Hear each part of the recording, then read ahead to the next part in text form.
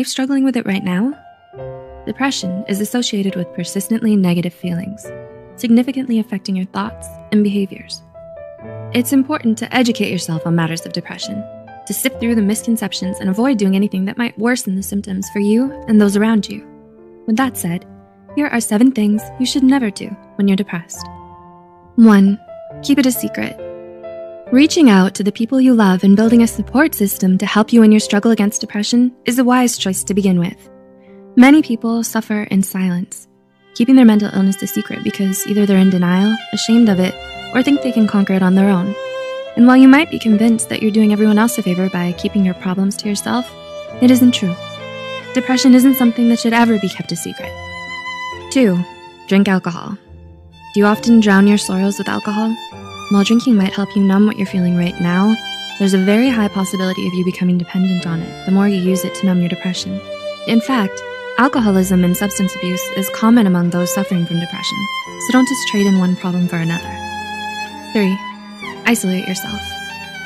Do you have the constant urge to push people away? Do you lock yourself up in your room all day? Depression may make you believe that you need to be on your own all the time and that no one wants to be around you. But in reality, that isn't true. There are people out there who care about you. Your relationships and social activities can help curb the intense feelings of loneliness and emptiness that depression often brings with it. Four, blame yourself. Do you often blame yourself for being depressed? If you do, we're here to tell you that it's not your fault. It can happen to just about anyone, so don't beat yourself up for feeling this way. There are dozens of different reasons outside of your control that might be making you depressed, whether it's because of your genes, your brain chemistry, your upbringing, or your environment. So don't think that any of this is your fault. Five, neglect your self-care. Have you been laying on the sofa binge watching movies on Netflix the whole day? When was the last time you went for a jog or had your nails done? Yes, depression can make you lose interest in the things you once enjoyed. But the thing is, taking care of your physical health can make a world of difference in alleviating your stress and helping you cope with your depression. The appropriate amount of sleep, exercise, and healthy eating can help you feel better. Six, let it define you. Did you know that your therapist never refers to you as depressed, but rather as someone with depression? There's actually a very good reason behind it. Because mental health care professionals believe that you shouldn't be defined by your mental illness. You're more than your diagnosis. Depression changes you in a lot of painful ways. It affects the way you view yourself and the world around you. But it's important to never lose sight of the person you are without it. So remind yourself of all the wonderful qualities that make you who you are and don't let depression stop you from doing the things you love or going after your dreams. And seven, give up hope. Finally, but perhaps most importantly, no matter how severe your depression may get, always remember there is still hope that someday you'll get better. The battle against mental illness is long and difficult, and it certainly won't happen overnight. But it's one that's worth fighting for, and it's certainly one you can win. Because as scary and painful and overwhelming as it can feel sometimes, you're not hopeless in your dream of a brighter, happier future for yourself. According to the Depression and Bipolar Support Alliance 2018, more than 80% of those who seek treatment successfully recover from their depression. One study even reports that in as early as eight weeks, 58.7% of patients achieved functional remission, meaning they've effectively learned to manage their depression in a way that allows them to live life normally, while 15.9% fully recover. So in addition to being a serious mental illness, fortunately, depression is also highly treatable. With a strong support system, professional help, and the right lifestyle changes, you can win your fight against mental illness and leave your depression behind. Also, if you feel you relate to any of these signs or symptoms or disorders talked about on our channel, make sure you try and seek professional help, just to be sure. Because looking after your mental health is just as important as looking after your physical health. Are you or someone close to you battling this mental disorder? Can you think of any other practices to be avoided by those suffering from depression? Just like physical health, you have to maintain it by taking care of your body with exercise and eating the right food, and going to the doctor when you're injured or ill. With mental health, you also have to take daily action to be healthy. And when things are stressful, I have to take extra care to manage my mental health. So for example, when I was in grad school, or when I'm pregnant or postpartum, and right now, when we as a global community are fighting a pandemic, we all have to take a little extra care of our mental health. What I'm going to talk about today is more about maintaining mental health than it is about getting out of the deepest pit of depression. When you're deep in a depressive episode, it can be really hard to see any light. It feels like you're at the bottom of a pit and can't imagine what it feels like to be out of it. At that place, often all you can do is tiny steps and hopefully get some help to get out of there. So don't allow yourself to get overwhelmed by my routine. Just choose one little thing to start with and then take the next step when you can. Number one, morning routine. So the first thing I do every day is getting on my knees and praying. I express gratitude for the day and for my life and the opportunity I have to do good in the world. And that connection with God, for me, helps me feel loved and purposeful through my day. If you're not religious, you could do some meditation or a breathing exercise here. I try not to look at my phone first thing in the morning because I want to start my day intentionally, the way I want it to be. If I open social media, I'm letting others choose what I take in, and that could be positive, negative, stressful, uplifting, or critical. And so I just choose to start my day with some quiet time. I do a little reading, and then I write out my goals and priorities for the day. And right now, with all the news that's frightening, I choose to listen to the news around lunchtime, once a day, so that I don't get constantly stressed out and have time to process it during my waking hours. And speaking of waking hours, let's talk about sleep for a minute. I have three kids, five and under, so I usually wake up before them to get some quiet time to set my intention for the day. My natural wake up time is around 5 a.m. I don't usually set an alarm, but to wake up then, I often go to bed between 9 to 10 p.m. I'm not fighting my natural biorhythms. I just listen to my body, and this is the schedule that works best for me personally. For many people, they might have different sleep needs or a different schedule. Sleep is super important to managing depression. There's a massive correlation between sleep problems and depression. Lack of sleep can cause depression, and getting good sleep can actually let your brain heal from depression. So I really value my sleep. I have old friends who nicknamed me 905 because I often go to bed at that time and I miss out on some fun for sure, but it's what keeps me healthy, so it's worth it for me. For each person, your sleep needs are different, but getting enough sleep can really make a big difference. One study found that 87% of people with depression who resolved their insomnia significantly decreased their depression symptoms. Number two, get dressed and showered.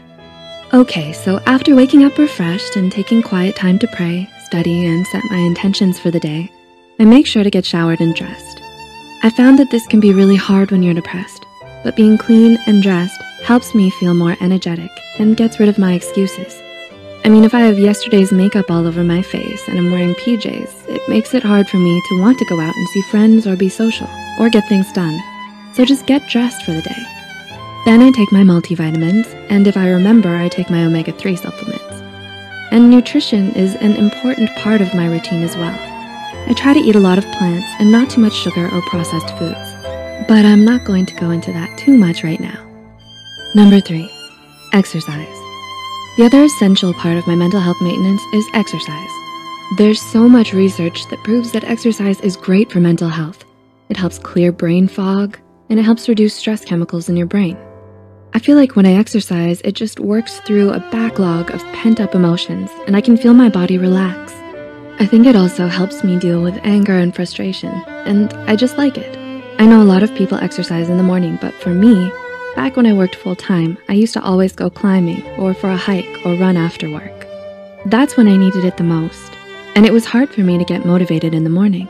But by afternoon, I was looking forward to it. Now that I'm a full-time mom, I have to be more creative in how I get my exercise in. I often just work out in the yard, gardening, digging in the dirt, and running around the yard with my wheelbarrow.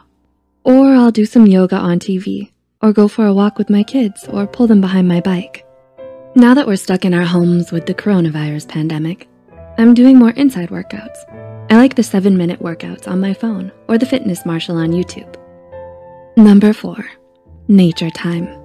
This takes me back to another aspect of my mental health routine that is really important for me. Outside time. I need nature. I need to see the sky and soak in some sun. I'm fortunate to live in a beautiful place and I take advantage of that by getting outside. There is some research showing that sunshine and nature and being outside changes our physiology. It slows our heart rate and decreases stress chemicals and stuff. But regardless of the research, I can just feel the difference for me. If you can't get outside, open your windows, sit on your porch, or if you can't do any of that, then you could spend some time looking at beautiful landscape photography or a nature film. Your brain has the ability to bring to mind the feelings of nature just by imagining it. Number five, my evening routine. My evening routine looks like getting my kids to bed and then taking some quiet time for myself. I usually take a hot bath and read a book or an archaeology journal. I'm kinda nerdy, but that's what I like. Even though I have very few hours to work on my passion project, these videos. I don't usually work in the evenings because it would just stress me out a little and I need the downtime to stay healthy. So then before bed, I write in my journal. I often take the time to write about my wins and accomplishments of the day so that I can remember them because it's my natural habit to dwell on my mistakes and shortcomings. So I write about my wins and then I pray a prayer of gratitude and talk with my Heavenly Father about my day. Again, Gratitude practice is an essential habit of mental health, and it's been shown to be an effective treatment for depression. So you can pray about it like me, express gratitude as a family, which we do at dinner time, or write about it, whatever works for you. And then I go to bed. I try not to spend too much time looking at screens before bed, but if I do, I choose some calming documentary or a mudlarking channel, like Nicola White's. If you don't know what mudlarking is, it's just finding historical bits of treasures on Thames in London. Anyways, I find it relaxing. I encourage people not to be on TV because it's just not super great for your brain. But if you do, choose a short and calming show. Lastly, other self-care. For me, that includes scheduling in some time for my hobby. I have tons of hobbies, but because I'm so busy with kids, I really don't have time to do most of them but I make sure to carve out about two hours a week to do at least one of them. Right now, that's metal detecting, which is something fun and relaxing for me. I put it on the calendar so that I make sure it happens. I also take the Sabbath off. No work, no housework. I don't check my work email. I let my brain completely focus on other things. Mostly my family, which is also exhausting, but it's a day that is different from the others. And I make sure to have social time as well, Having social interactions is really essential for mental health. Our brains are inherently social. We are social creatures. So right now, this is going to be an extra challenge with the coronavirus. I'm taking the time to call up old friends.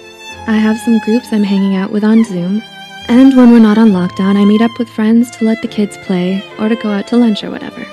Social isolation can all contribute to depression.